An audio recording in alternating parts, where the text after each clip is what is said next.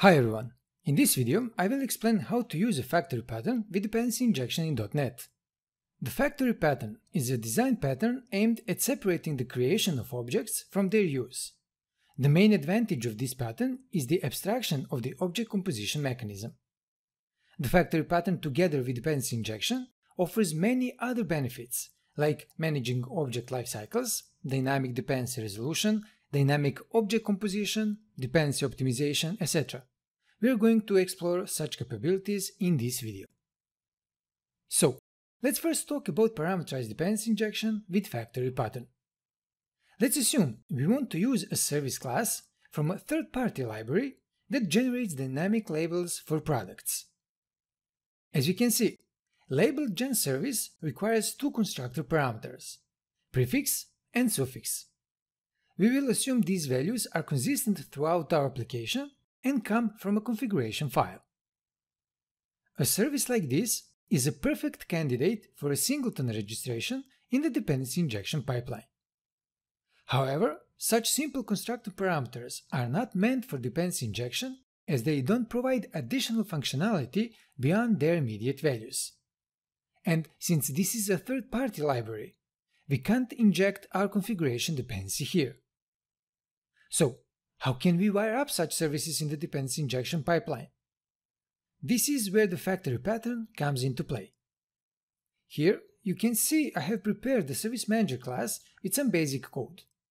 And I will use this class to register all the services throughout this video. As you can see, I use the options pattern here to bind the values from the app settings file to the label gen options class. Now, it's time to register the label gen service as a singleton service. So, let's call the services add singleton method and I will choose an overload of the add singleton method that accepts a factory delegate. Inside, let's create an options variable and use the service provider with the getService method, where for the type parameter, I will pass the iOptions interface with the label genOptions generic type. Also, let's use the value property to get the value of the label genOptions interface. Now, I can return a new instance of the label gen service with prefix as the first argument and the suffix as the second one. And as the Visual Studio suggests, I can simplify this implementation. Great, all set here. Now let's open the program class and uncomment these lines. The first thing I do here is call the create service provider to return a new service provider, and then use it to get the required service. In this case, label gen service. Then I can simply extract the label using the generate method and print it to the console. So let's run the app and test this solution. And as you can see, we have the label with both a prefix and the suffix applied. Now, let's see how we can create an abstraction over third-party service using a factory class. As you saw in the previous example, the factory delegate offers a quick approach to set up a parameterized service. However, a cleaner and better alternative is to use a wrapper factory class. That said, let's create a new one in the label gen folder. And I will name it label gen service factory. First, I will create a new private read-only label gen service field and name it label gen service. And also a public property of the same type and the same name that encapsulates my private field. Then let's create a constructor and as a parameter I will provide the iOptions label genOptions parameter named options. So inside the constructor, let's extract the value of the options using the value property. And finally, populate the field with a new object using both the prefix and the suffix properties. Now, let's complete this registration inside configure services method. Let's use the add singleton method and provide the factory class as the type parameter. This approach offers better encapsulation and a decoupled architecture. Also, we get rid of the direct dependency on a third-party service. Instead, we can now inject or resolve our factory dependency and get access to the service as needed. So let's do that in the program class. Let's hide these lines and uncomment these. So the code is pretty much the same. Let's run the app and you can see we get the same output as before. Great, let's move on. A factory class is also handy for conditionally creating objects based on runtime parameters. Let's consider a scenario where we have multiple device models, each associated with a specific device type value. So, to show how conditional object instantiation works, let's open the iDevice factory interface and inside create a single member that returns a device type. Let's name it create device and it will accept a single device type parameter. Now, let's create a new class and name it device factory. This class will inherit from the iDevice factory interface. And let's implement it right away.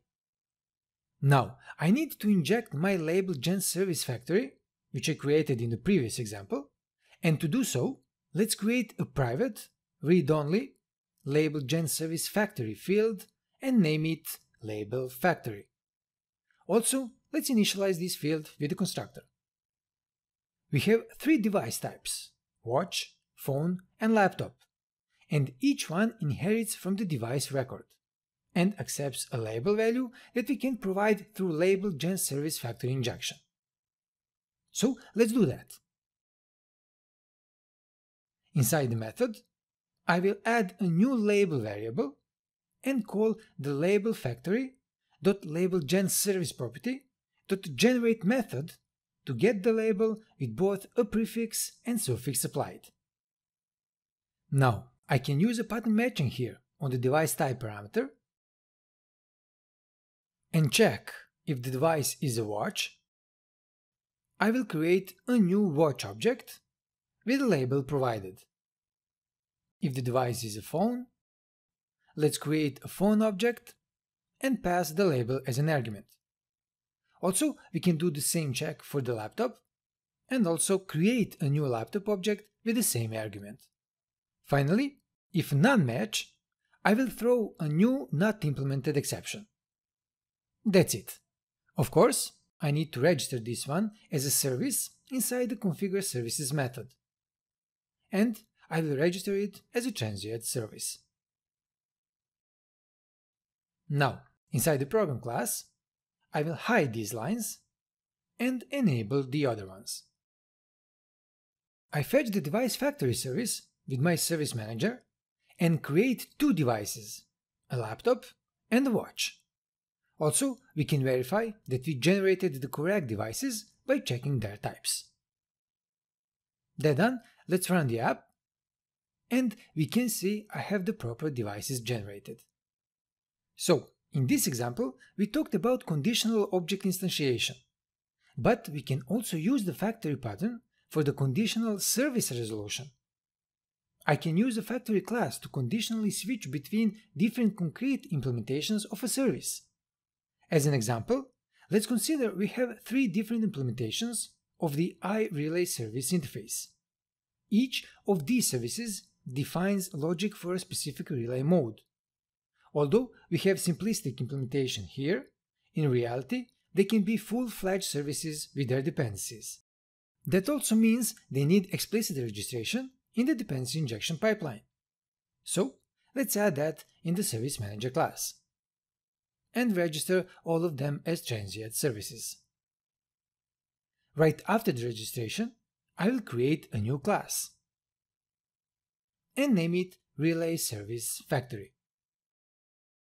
Here, I will create a new private read-only variable of the IEnumerable iRelay service type and name it relay services. Also, let's use the constructor injection here to initialize this field. Now, the most interesting part here is that with this simple injection, the app will automatically pull all iRelay service implementations from the dependency injection container. After that, the resolution of the target iRelay service is just a matter of a simple lookup within this collection. So, let's create a new method that returns iRelay service, name it getRelayService, and provide a single relay mode parameter. All I have to do here, as I already said, is to find the first service where the relay mode equals the relay mode parameter. With this in place, I have to register this factory class as another service. And again, I will create a transient service here. I can now pick any variant of iRelay service on demand. So let's hide these calls and enable these. We already know everything we need to know about this code. That said, let's run the app and you can see the required outputs. Finally, let's see how an abstract factory works with dependency injection. A factory may act as an abstraction over other factories. This is what we refer to as the abstract factory pattern. For example, this might be the case when we deal with groups of similar objects from different families. That said, let's take a look at our device factory class, which we use to retrieve three kinds of devices laptop, phone, and watch. In addition, we now have the second generation of these products smart laptop, smartphone, and smartwatch. That means we need a new factory. This is nothing different from the previous device factory, except that we now provide newer models. Both factories employ the same core operations, so we introduce a common interface of iDevice Factory. This interface is our abstraction over all such factory variants. With that in mind, let's register them in the DI container. So, we have two factories registered as services, and now I can bring them under the umbrella of a master factory. For that, I need a new class. And I will name it Master Device Factory. I will again create a new private field that returns an IEnumerable, but this time of iDevice factory type, and name it Device Factories. Also, I'll use the constructor to initialize this one. Now, I need two methods. The first one will return iDevice factory and I will name it getClassicFactory. Inside, I want to filter the factory from the device factories collection by using the OfType method and passing the device factory as the type I want to extract, and call the first or default to get the concrete factory. The second method is almost the same, so let's copy this one and paste it. Change the name of the method to getSmartFactory and change the type to Smart Device Factory. As you see, I expose two separate methods to resolve the classic and smart variants independently. Now, I have to register this master factory in the dependency injection container. And now, as a result, we can create an iDevice factory variant as needed inside the program class. So, let's run the app. And as expected, both device factories work in the same fashion, but provide the device instances from their family line. Excellent. I hope you understand now how the factory pattern is powerful when we work with the dependency injection. And I can finish the video. Please let me know what you think about the video, as you can do that by dropping a comment in the comment section below. Thank you for watching, and I'll see you again in the next one. Until then, all the best.